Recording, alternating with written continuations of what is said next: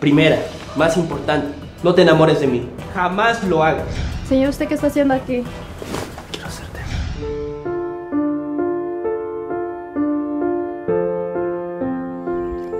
No puedo creer. ¿Por qué justamente ahora tengo que quedarme sin empleo? Mi mamá enferma. y Yo a punto de acabar mi carrera. Ay, para colmo, los meses de renta que tengo que pagar. Ay, Dios mío, no sé qué hacer.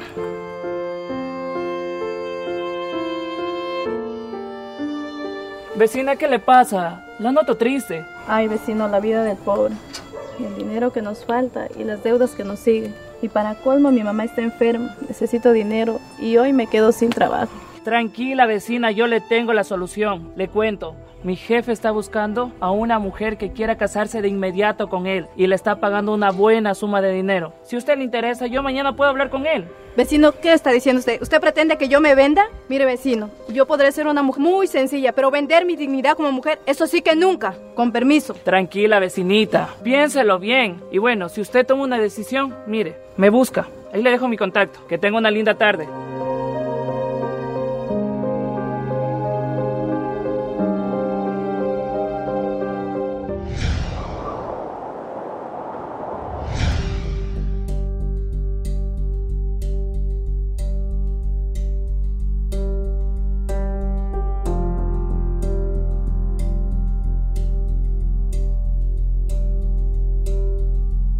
Luisita, ¿cómo estás? Qué gusto verte. Coméntame, ¿has pensado sobre la propuesta que te hice aquella vez? Vecino, lo he pensado mucho. Y sí, acepto su propuesta. Solamente espero ser la mujer perfecta para su jefe. Muy bien, Luisita. No perdamos el tiempo. Vamos, en este momento te voy a llevar a la empresa para que conozcas al ingeniero Emiliano. Acompáñame, vámonos, no perdamos el tiempo. Verás, él primero te va a conocer, va a ver si tú estás ideal para él. Yo sé que le vas a caer.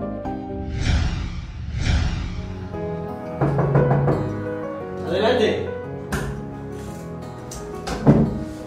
Ingeniero, le presento a quien se convertirá en su futura esposa. Buenas tardes, caballero. Es un gusto conocerlo. Suficiente de tanto formalismo. Yo creo que mi asistente te dijo todo lo que es del contrato, ¿verdad? Así que solo vamos a ver las cláusulas y las reglas. Retírate, por favor, Jorge. Con permiso. Acá, Luis. Estas son las cláusulas que tú tienes que revisar. Aquí en esta hoja están. Así que, por favor, te voy a decir las tres que más me interesan a mí. Mira. Primera, más importante, no te enamores de mí. Jamás lo hagas. Segundo, ante la sociedad y ante mi familia, vamos a ser la pareja más feliz. Pero cuando estemos solos seremos unos completos desconocidos. Y me tienes que decir, señor Emiliano, repite conmigo. Señor, Señor señor Emiliano. Emiliano. Eso. 3. Acatarás cada una de mis órdenes. Mi palabra es la ley. Tú serás sumisa ante mi palabra. Tú no tienes voz ni mando. ¿Oíste? Pero, señor, Nada, cállate. Mañana mismo nos vamos a casar por el registro civil. Y dentro de un año después de la boda te voy a entregar el cheque con la cantidad adecuada. Puedes retirarte. Me olvidaba algo más. Mañana mismo tienes que ir a mi casa y tienes que vestir adecuadamente. No quiero que vistas así. Quiero que vistas como una dama. Retírate, mañana nos vemos.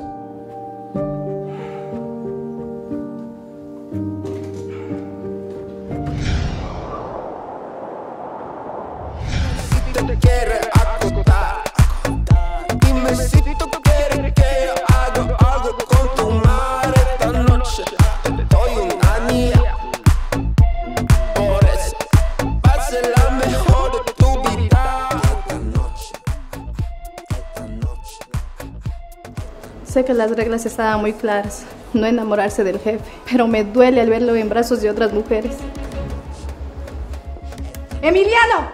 ¡Emiliano! Ya es suficiente. Yo soy tu esposa y merezco respeto. Y ustedes se me largan. ¡Ahorita! ¡Fuera de aquí! Adiós, guapo.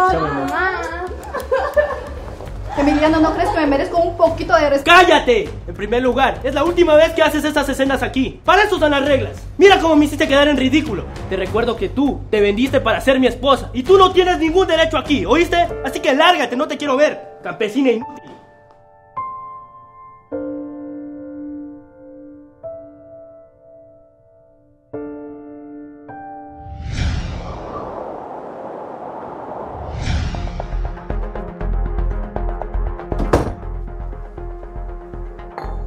Señor, ¿usted qué está haciendo aquí? Mi amor, quiero hacerte mía. Ay,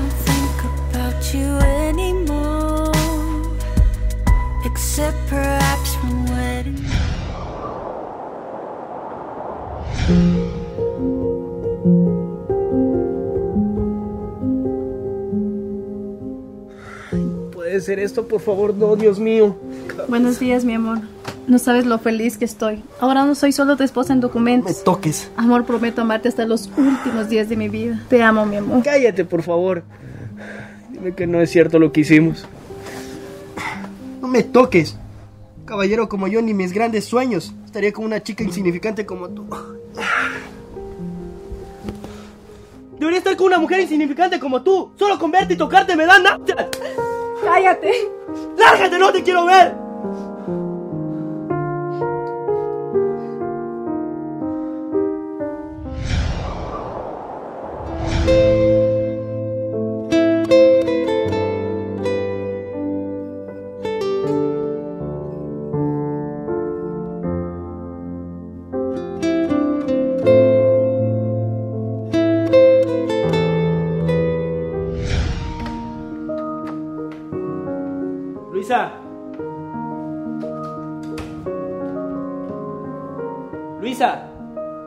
Necesito que me ayudes a ver un traje.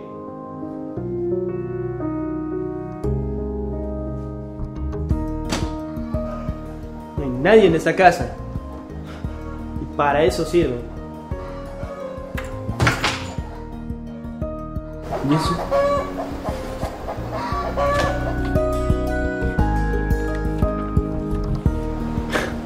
Para Emiliano.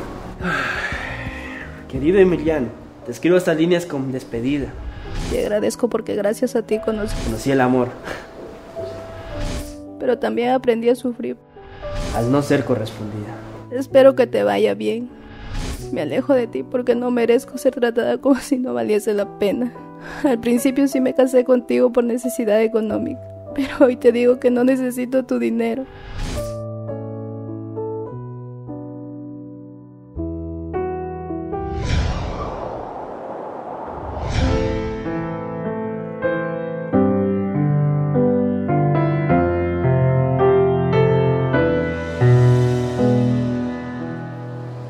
Pensé decir esto. Luisa, te extraño. Te extraño con toda mi alma y mi corazón. Llenaste en mí algo que realmente nunca sentí por nadie más.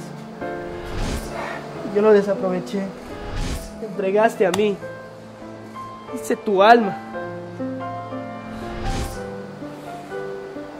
No puedo creer. Eres un tonto. Me arrepiento de todo. Te amo, Luisa, te amo.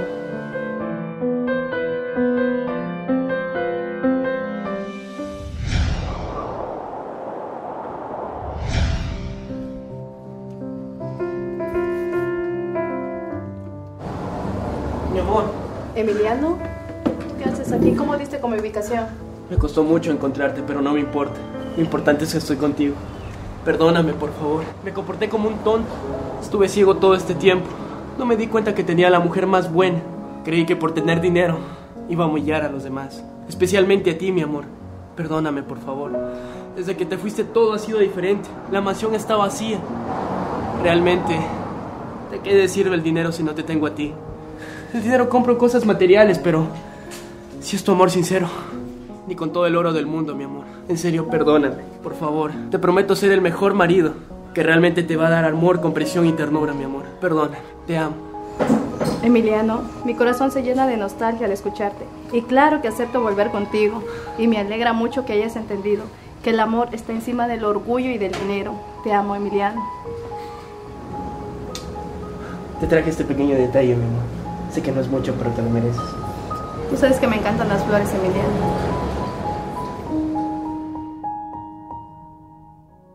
El dinero no es todo en la vida. Puedes comprar todas las cosas materiales, pero jamás el amor. Recuerda que en la vida hay cosas más importantes, como el amor, el respeto y la confianza.